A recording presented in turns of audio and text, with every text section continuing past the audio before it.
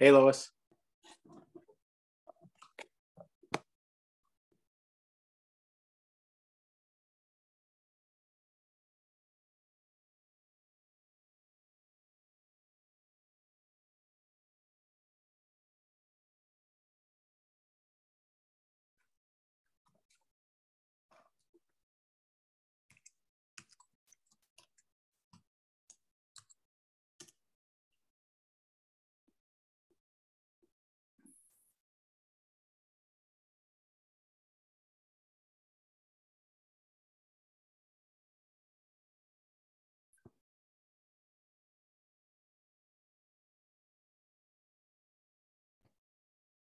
Where's the proof? Hi, Rabbi. Hi, Lois. Hi, David. Good morning. Good morning. Uh, I think so. It's a beautiful day.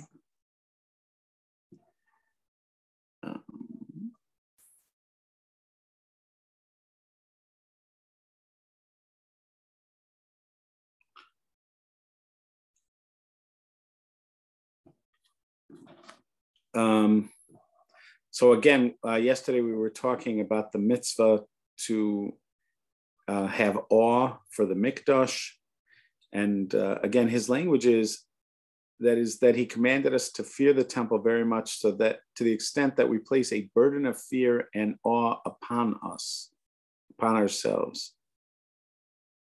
Um, and and he said at the very end, uh, it is not the temple. This is a quote from the the Sifra. It is not the temple that you fear, but he who makes his divine presence dwell in that place. But it's um, uh, in Hebrew, um, li ra, li ra, which is uh, that word that often is translated as awe, but he also added pachad. Again, that's the a trans a translator. Um, but so therefore, there are practices which include not wearing shoes, um, uh, not make taking shortcuts, not wearing your money belt or your um, uh, walking stick, um, and also not sitting. Pointed out, not sitting.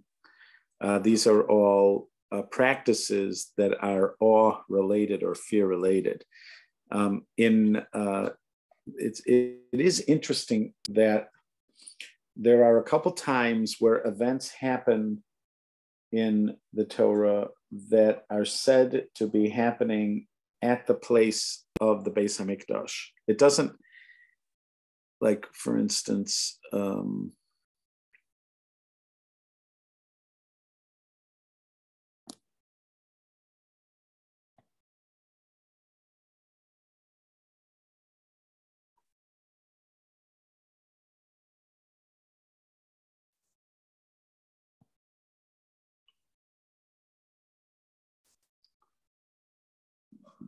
so when uh, Yaakov has the ladder dream, so it says Yaakov left Beersheba, he went to Haran, and he came upon this place, and he slept there, and um, he took some stones, and he, and he slept in that place, Then he has this dream. Um, and that's the latter vision. And then it says, and Yaakov woke up from his place and he he said, God is in this place. I don't know it. And it says Vayira, and he and he has the same word, the word for awe or a fear. Vayira, and he was afraid. Vayomar mano rahamakomazeh. How awesome is this place? Mano ra hamakomazeh ein zeh ki'im beis Elohim. This is the house of God. V'zeh hashar v'zeh shar shemaim. It's a gate of heaven. So the juxtaposition, he he sees this. This must be the house of God because he's experiencing awe. He's experiencing Yira, no Ra. Vayira, Vayira, he was a he was afraid or he was in awe. Vayomer ma no Ra How awesome is this place? Ein Zekim Beis Elokim. So he associates awe with the bite of Elokim, with the house of God. So you'll see in Midrash, they will suggest that this is what this what he's identifying is the place of the Beit Hamikdash, and that the Beit Hamikdash is is awesome. So that's there, and then. Um, all right. But what about, what about the fear element?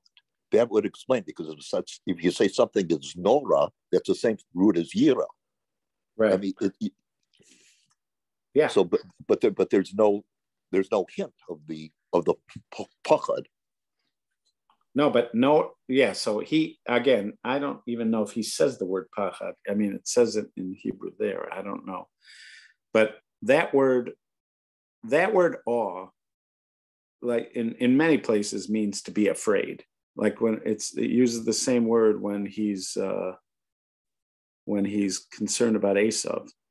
He uses that same word. That word means fear. It sometimes it, it depends on context. It can mean awe, it, but even awe has elements of fear associated with it.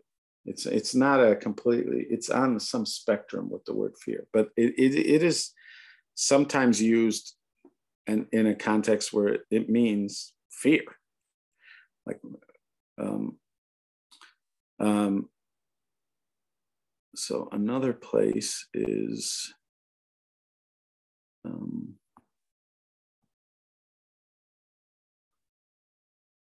at the end of the um, Akedah. So the actual place of the Akedah, it just says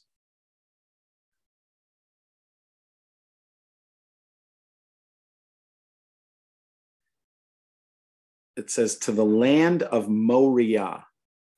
It says the land of Moriah. Go to the land of Moriah.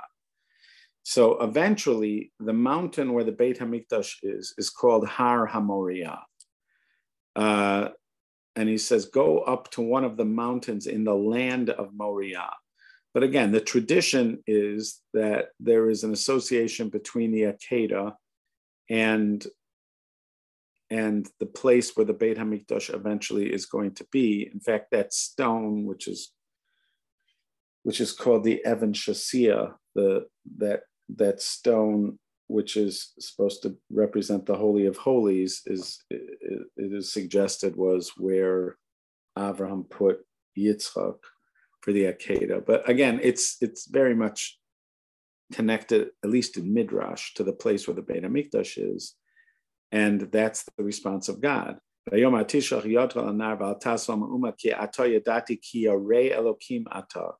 Now I see that you are one who is Yorei Elokim, which here they translated as fear. Again, you could say awe, one who's in awe of God or has fear of God. Um, and um, and it says, uh, Vayikra Avram Shema Makomahu Hashem Yireh.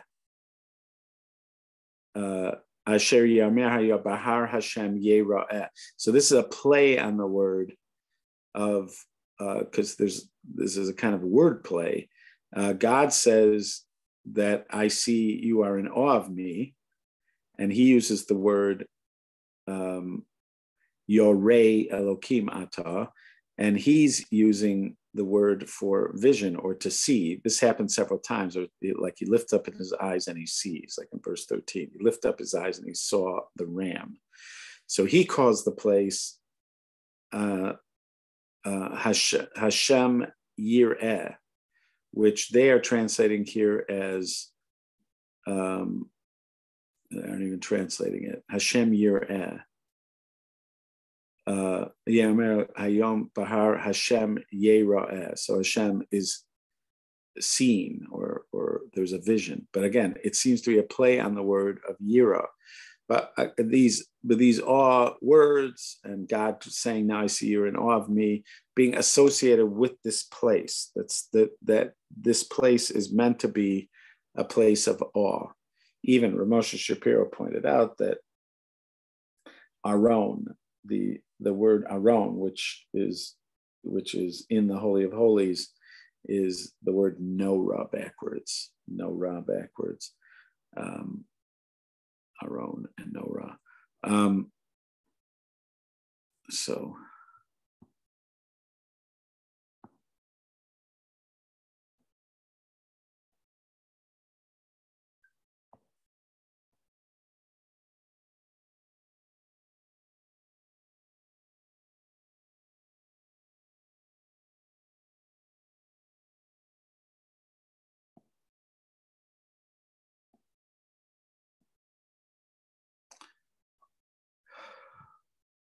Okay, and then we talked about the mitzvah of the Levim to guard the Beis Hamikdash, um, and to uh, work in the Beis Hamikdash, uh, which was primarily the guarding and uh, the work in the choir and the symphony. Those are the primary works. Um, okay, so now we are at mitzvah 24 and it is that is that he commanded the priests to wash their hands and their feet anytime they needed to enter the temple chamber and do the service. And this is the sanctification of the hands and the feet. And this is his maybe exalted saying, and let Aaron and his sons wash their hands and feet from it when they enter the tent of meeting. So there's something we call it a laver. It's a, uh, it's a large vessel with spigots and um, so the, the command there is to wash their hands and feet.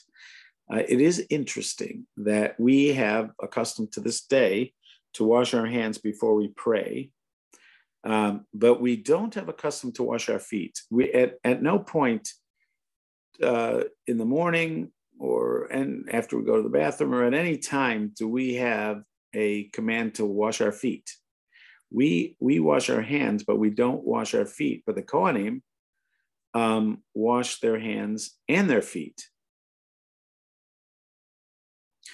Uh, and one who transgresses this positive commandment is liable for death at the hands of heaven. In other words, to do the service of God without washing your hands and feet. Meaning to say that a priest that serves in the temple without sanctification of the hands and feet is liable for death at the hands of heaven. It's not a, it's not punished in a court, uh, in a human court, but it's punished at the hands of heaven. And that is his, may his name be blessed, saying, They shall wash with water that they may not die. So that's in Shemot, um, uh, chapter 30, which is somewhere around Kisisa. And the regulations of this commandment have already been completely explained in the second chapter of Zvachim, see Parsha Kitisa. There it is and Mishneh Torah, the chosen temple, uh, eight.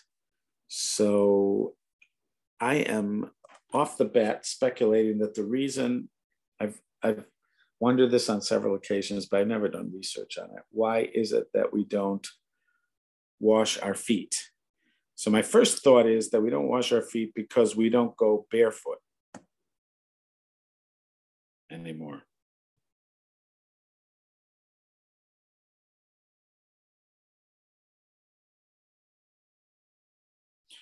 But I'm just going to see if quickly if anybody halacha. Isn't the washing only uh, for the Kohanim or for everybody? No, it's just for the Kohanim, but we model our washing our hands after the Kohanim. Like, for instance, when we eat, we wash our hands before we eat bread. Why do we wash our hands before we eat bread? It's uh, it's modeled after the Kohanim that they had to wash their hands before they ate bread, or whatever, in the service of the temple. Why don't we?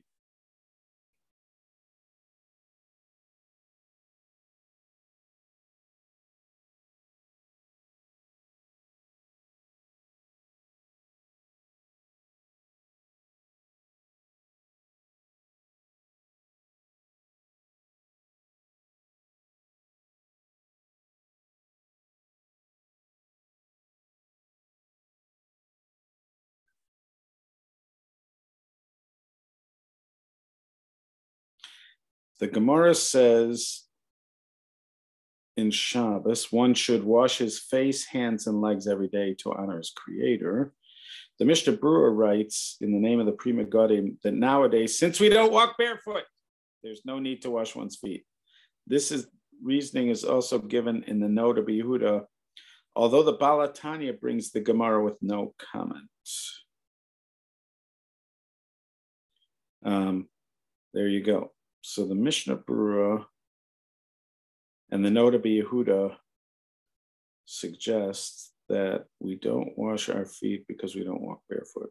Now, they're not really talking about ritually, they're talking about more as a way of honoring Hashem, but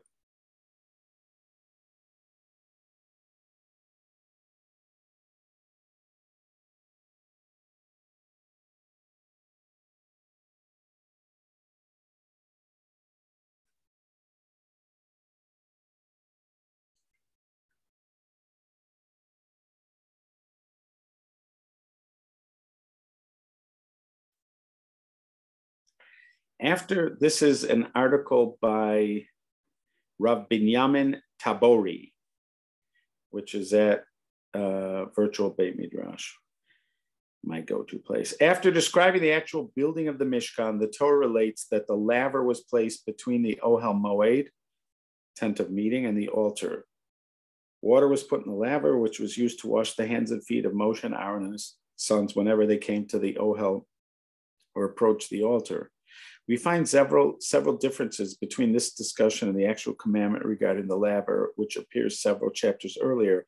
In the beginning of Parshat Kitisa, the Torah says that the purpose of the laver was for Aaron and his sons to wash whenever they enter the Ohel Moed or approach the altar to perform, the service. No mention is made at all of Moshe.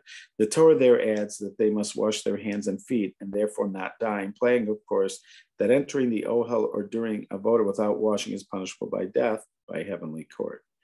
Why is Moshe mentioned in conjunction with the laver here in Parsha Pekude, but not in Parsha Kitisa? The earlier Parsha makes no reference to Moshe for the simple reason that he's not a Kohen and therefore has no obligation to watch from the laver. During the days of Mishkan's inauguration, however, Moshe in fact served as a Kohen, and so that uh, is why he's included there. Although the Torah told the Kohanim to wash their hands and feet, the Gemara constantly refers to this mitzvah as sanctification of hands and feet. In fact, Targum Onkelos translated the word lerochza as lekidush. The Rambam uh, in our mitzvah and the Sefer Chinuch and Rabbeinu Saadia Gaon all count this kiddush, this sanctification, as one of the 613 mitzvot. The Bahag did not count it as a positive commandment, but included in the list of which the death penalty is imposed. The Ramban interpret this to mean that the Bahag also viewed this as an independent mitzvah, but merely had a different system of enumerating the mitzvot. Uh, Rabbi Ari Malin raised the question of whether this kiddush itself is an avoda or only a hechsher mitzvah. is it a service itself or only a preparation for the performance of it? He pointed out that although considerable controversy exists as to whether wearing priestly vestments constitutes a separate mitzvah, everyone agrees that this is an independent mitzvah. This implies that it is more than just preparation for the service, it has to be considered a service itself. The Rambam codified that it must be performed standing because this is a service in the Beit HaMikdash, and therefore it should it has to be performed standing, which is not that easy when you're doing your washing your feet to wash them while you're standing. Um,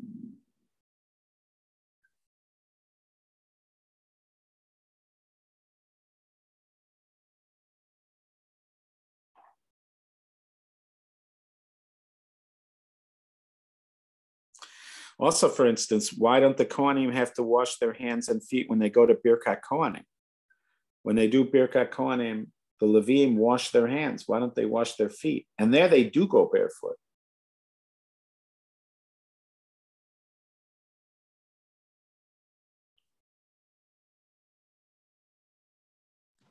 They go barefoot in shul? Yeah, or whatever. They they take off their shoes. They they don't go oh. barefoot. They have to take off their shoes. I thought that I thought the Kohanim did wash their feet. I mean, the, the Levim did wash their feet. They don't. And Shul? I thought they did. No, I remember them being sent Well, off. why don't to they? wash their hands. That's what I'm asking. I'm Did asking. they? What about in the old days? What about hundred years ago? I don't. I never see it, and I in in Israel they do that every day. You know, Birkas Kohanim every day. I, they you never see them wash their feet. Why don't they have to wash their feet?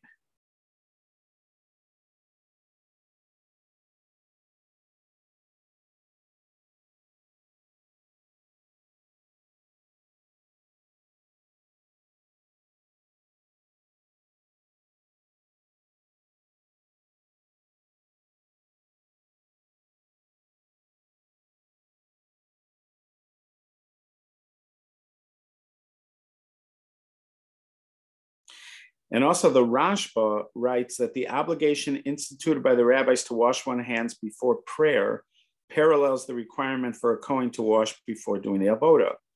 The Rambam codified that everyone must wash his hands before tefillah, adding that before shachrit, one should wash both his hands and his feet. The Raavad comments that he sees no reason to wash one's feet. The Torah Tamima suggested that the Rambam, like the Rashba, thought that we should prepare ourselves for Tefillah just as the Kohanim prepared themselves for Avoda. This would logically require washing hands and feet for all three daily prayers. However, since the Rambam maintains that daily prayer is biblically mandated only once daily, the rabbis obligated us to wash our feet only for Shachrit.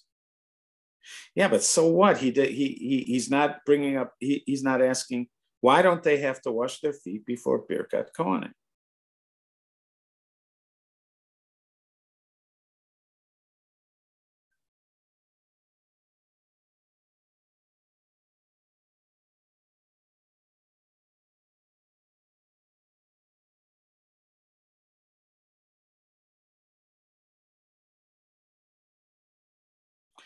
Yeah, why don't they? I don't know.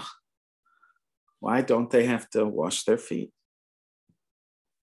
So he he talks about he just talks about that one little thing, but he doesn't ask it about Birkat Kohanim or anything else. And and the ones who say you don't have to wash your feet, why don't they say you have to wash your feet?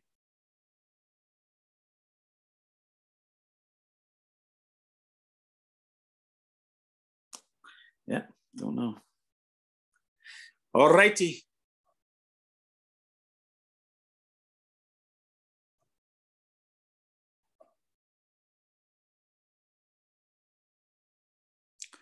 All right, so that was 24.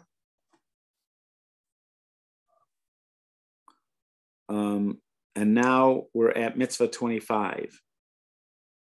That is that he commanded the priest to kindle the lamps regularly in front of the Lord. We're talking about the menorah here.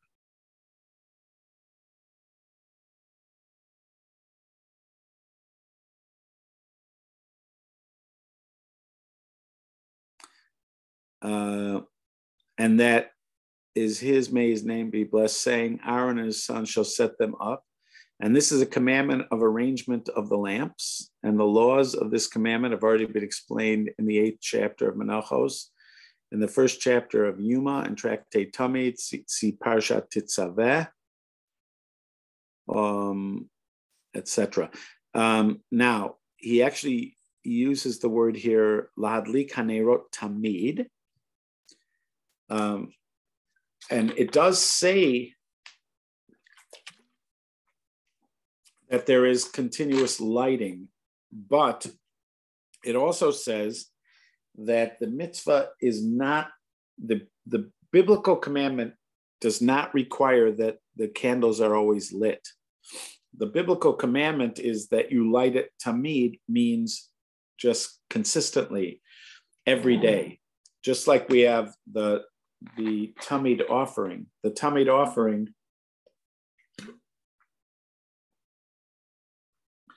is uh, is brought every day. It's brought in the morning and the afternoon. It's consistent. Tamid there means consistent, but not continuous. There was a custom to try to keep it continuous, apparently, even with the menorah, but it was not the requirement. So when we talk about a continuous flame, we do not mean the flame of the menorah, we mean the flame of the Mizbeach, that the altar had to have a continuous flame on it that never went out. But so, um, but the idea of a of a like a ner tamid that's in front. The custom is to have a ner tamid in front of the um, the ark. Uh, in, in in in many shuls, they have a ner tamid, um, but the the the uh, menorah itself did not actually require that biblically. The altar did, but not the menorah. Again, there there there might have been a custom to try to keep it lit, at least one of them lit, but it was not a, a requirement. Um, so that is 25, and now mitzvah 26. He should sivanu akonim. Uh, so this is a commandment that the priests bless Israel, what we call birkas kohanim and that is his may be exalted saying, Thus shall you bless the people of Israel. And the laws of this commandment have already been explained in the last chapter of Megillah and Taanis, in the seventh chapter of Tractate Sota, in Parshat Naso, Mishneh Torah, prayer, and the priest, priestly blessings 14.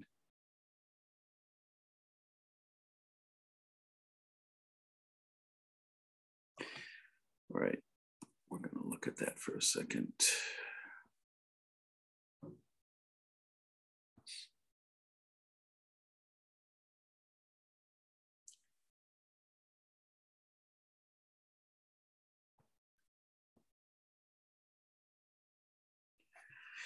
So this is the Rambam in his codes.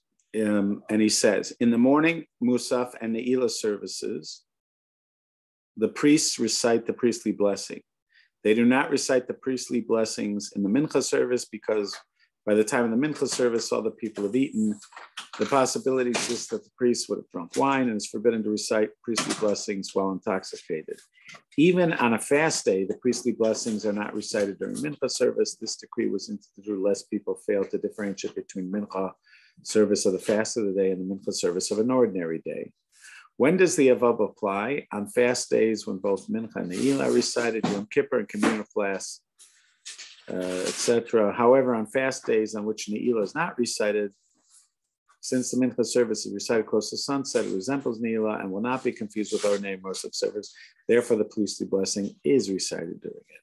If a priest transgresses and is sent to a platform during the mincha service of Yom Kippur, since it is known that there's no possibility of drunkenness on that day, he may recite the priestly blessing. He's not required to descend, etc. How is a priestly blessing recited outside the temple? When the leader of the congregation reaches the blessing of Ritzay, when he recites the word Ritzay, all the priests in the synagogue leave their places, proceed forward, and ascend the Duhan. They stand there facing the Heichal with their backs to the congregation. They hold their hands closed against their palms until the leader of the congregation completes the blessing of Modim. Then they turn their faces to the people, spread out their fingers, lift up their hands shoulder high, and begin reciting Yivarechacha. The leader of the congregation reads the blessings to them word for word, and they respond after him as can be inferred from numbers. This is how you should bless the children of Israel, say to them, etc. The priests do not bless until one says to them. When the priests conclude the first verse, all the people answer Amen. The leader of the congregation reads the priest the second verse word for word, and they respond after him until they complete the second verse. The people respond Amen. The same applies we got in the third verse. When the priests conclude the recitation of the three verses, the leader of the congregation begins the final blessings of the Shemona Esrei, Sim Shalom. The priests turn, then face to the ark and close their fingers.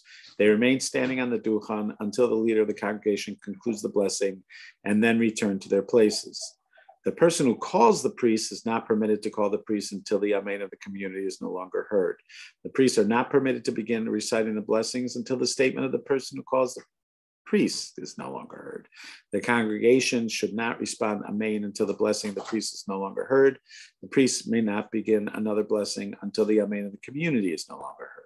The leader of the congregation is not allowed to recite amen to the priest's blessing like the rest of the people, lest he become confused and not realize which blessing to recite them. whether the second blessing or the third blessing. The, the priests are not permitted to turn their faces away from the congregation until the leader of the congregation begins the blessing Sim Shalom. Neither may the priests leave their places until the leader of the congregation concludes the blessing Sim Shalom, nor may they close their fingers until they turn their faces from the community. One of the measures ordained by Ezra is that priests should not ascend to the Duchan wearing sandals, rather, they should stand barefoot. What is interesting is why is it a measure ordained by Ezra?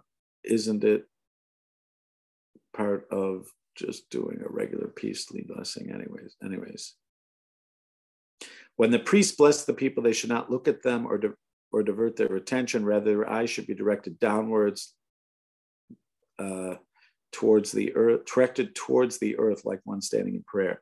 A person should not look at the priest's faces while they are blessing the people, lest they divert their attention. Rather, all the people should listen attentively to the blessings. They should stand face to face with the priest without looking at their faces. Notice how he, he says their faces, he doesn't say their hands, right? He doesn't say anything as a problem about looking at their hands. He said you shouldn't look at their faces. That's interesting.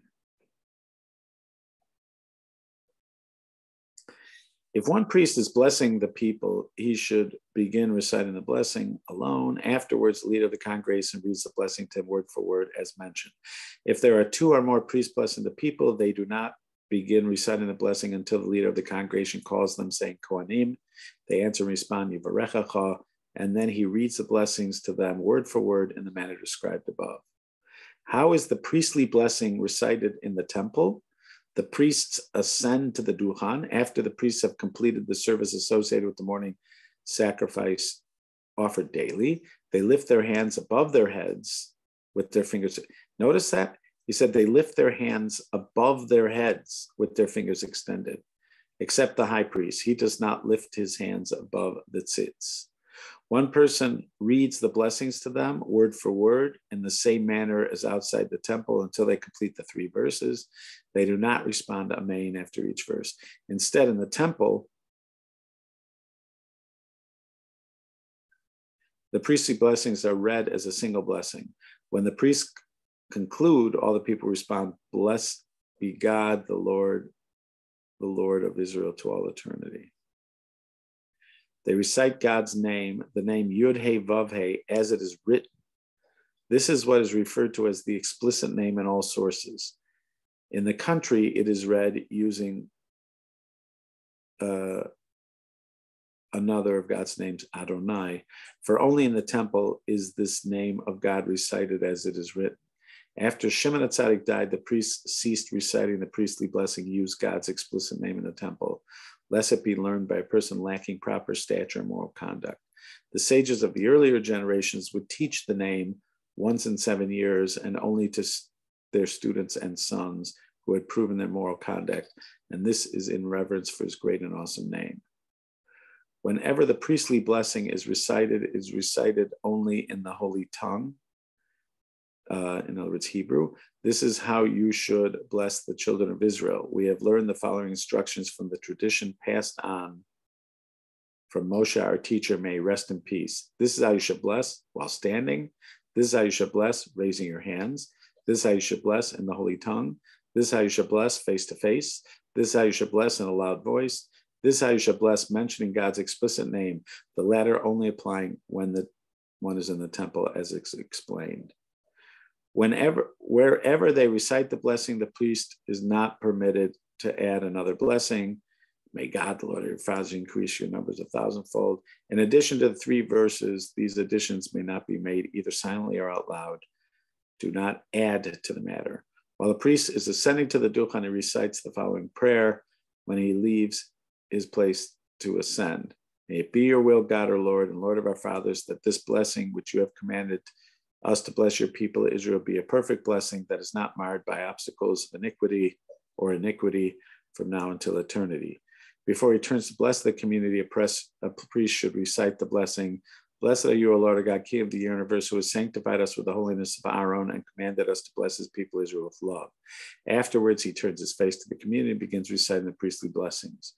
When he turns his face from the community after completing the recitation of the blessings, he recites the following We have carried out that which you have decreed upon us. Deal with us as you promised us. Look down from your abode from the heavens and bless your people Israel. When the priests turn their faces to the community to bless them, and when they turn their faces from the community after blessing them, they should turn only to the right. Similarly, any turns which a person makes should always be to the right. In the temple, the priestly blessing would be recited once a day after the offering and the morning sacrifice the priest came and stand on the steps of the ulam and recite the blessings as mentioned above. However, outside the temple, it is recited after every prayer service except mincha. In all places, an effort is made that the person who reads the blessing to the priest should be an Israelite. Say to them, this implies that the one who reads the blessing to them is not one of them, so it shouldn't be a Kohanim. Um, okay, so then he's going to talk about uh, things um, that would make somebody uh, unavailable for uh, Birkas Kohanim. All right, so we'll look. Uh, let's see here. Just want to say here. A priest who does not have any of the factors which hinder the recitation of the priestly blessings mentioned above should recite the priestly blessing, even though he's not a wise man or careful in his observance of mitzvahs. This applies even though the people spread unwholesome gossip about him or his business dealings are not ethical. He should not be prevented from reciting the priestly blessings because reciting these blessings is a positive mitzvah incumbent on each priest who is fit to recite them. We do not tell a wicked person, increase your wickedness by failing to perform mitzvot. That is a very important line there. Do not wonder what good will come from the blessing of this simple person, for the reception of the blessing is not dependent on the priest, but on the Holy One, blessed be He. As it states, and they shall set my name upon the children of Israel, and I shall bless them. The priests perform the mitzvah with which they were commanded, and God in his mercies will bless Israel as he desires. The priests, the people standing before the priests are not behind the priests, are not included in the blessing. Those standing at their sides are included in the blessing. Even if there's a partition, even an iron wall between the priests and the people who are being blessed, since they are facing the, facing the priests, they are included in the blessings. The priestly blessing is recited only when 10 people are present The priest can be included in that number. If the congregation is a particular synagogue where there's all priests, they should all recite the priestly blessing. Who will they bless? Their brethren in the north and the south will respond Amen to their blessings. The women and the children. If more than 10 priests remain besides those who sent to the Duchan, the 10 priests respond Amen, and the remainder of the priests recite the blessings. Um,